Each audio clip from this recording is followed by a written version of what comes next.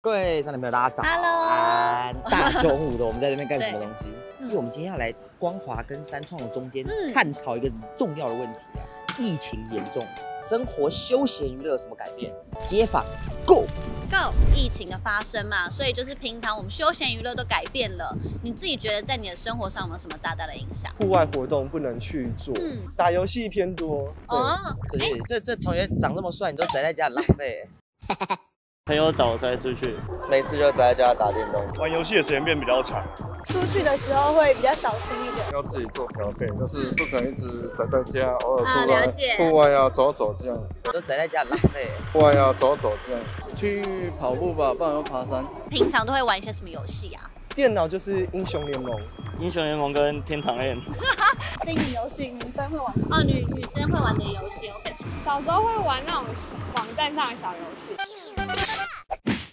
比较常玩是像 Apex Legends 这种，呃，热血高校、玛丽兄弟，这边有九个游戏，帮我看一下你们有没有看过这样。龙之谷啦，嗯还是魔物猎人啦，嗯，天堂啊，以前天堂那个 online 的方面就是比较夯嘛，然后它转型到做手游方面这样，对对。龙之谷、清风之谷、天堂 M 跟绝对武力还不错，蛮回味以前以前的东西全部都移植过来，蛮吃回忆杀的一个还不错的作品。那那你对天堂 M 里面哪一个系统你觉得印象最深刻？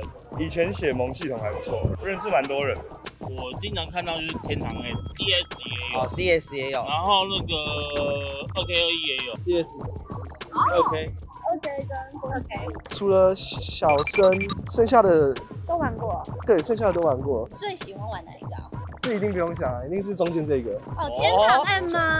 对，啊，这游戏最吸引的地方是什么？情怀吧。虽然我没有经历到电脑版那时候，对你看起来蛮年轻的。对，但对，但是就会被就是身边的就是人影响。这是童年啊，CS 跟风之谷嘛，那你觉得怎么样？这些游戏不错啊，就是童年童年。？OK 童 OK 年回忆。只有只有风之谷，我也是。风之谷呃电玩展会改成线上的，你们觉得改成线上这样 OK 吗？你们会去参加吗？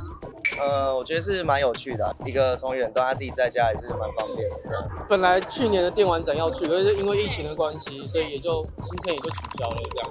因为他如果参加线上一些什么说明会之类的，比如说他的游戏啦，如果玩对这样之类，我玩这游戏我的目的是什么？嗯想要送一些呃免费的虚宝啦，对啊，道还具啊，优惠对对这样。对。电子的吗？对如果他有送就是序号的话，我觉得可以。